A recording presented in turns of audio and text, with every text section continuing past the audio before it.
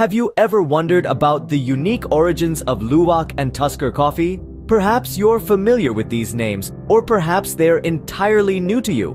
Either way, buckle up because we're about to embark on a fascinating journey into the world of these exotic coffees. Luwak coffee, also known as civet coffee, hails from Indonesia. It's not your average coffee. Oh no. The production of this coffee involves a curious process and an unlikely animal participant.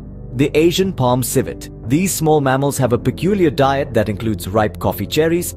As they consume the cherries, the beans undergo fermentation in their digestive tract.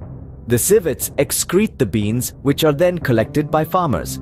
It may sound unusual, but this fermentation process gives the coffee its distinctive flavor. The beans are thoroughly cleaned and dried in the sun before they are roasted. The roasting process is where the magic happens. It transforms the raw beans into the aromatic coffee beans we know and love.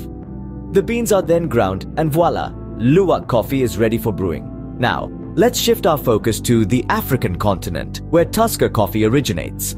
Tusker coffee, also known as elephant coffee, involves a process similar to luwak coffee, but with a different animal, the elephant.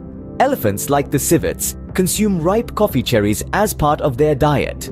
The beans undergo fermentation in the elephant's digestive tract and are later excreted. The collected beans are washed and sun-dried, similar to the luwak coffee process.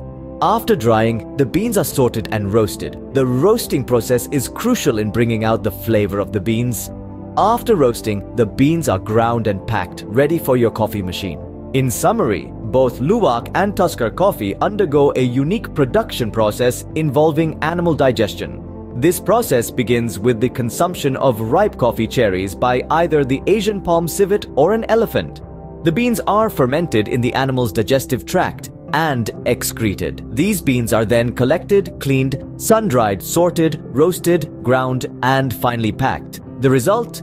Two distinct types of coffee, each with a unique flavor profile and a story to tell. So the next time you sip on a cup of Luwak or Tusker coffee, remember the extraordinary journey those beans have taken, from a tropical coffee plant to the digestive system of a civet or an elephant, and finally, to your coffee cup. Like, share and subscribe the Farm Modernization channel for more informative videos. Thanks for watching.